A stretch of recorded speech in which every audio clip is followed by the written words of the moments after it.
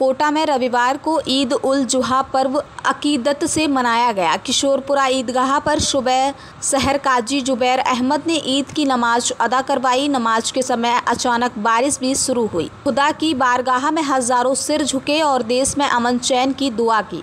यहाँ पर शहर काजी जुबैर अहमद व अनवार अहमद ने तकरीर की। खुतबा पढ़ा इस मौके पर ईद की नमाज़ अदा कर खुशहाली भाईचारे के लिए दुआ मांगी गई। मुस्लिम बुज़ुर्ग, युवा और बच्चे नए कपड़े पहनकर ईदगाह पहुँचे, जहाँ सामूहिक रूप से नमाज़ के बाद एक दूसरे से गले मिलकर ईद की मुबारकबाद दी। राजस्थान प्रदेश कांग्रेस कमेटी अल्पसंख्यक विभाग के चेयरमैन आविद कागज़ी ने कोहड़ी जमाल रोड पर एक दूसरे से मिलकर ईद की मुबारकबाद दी।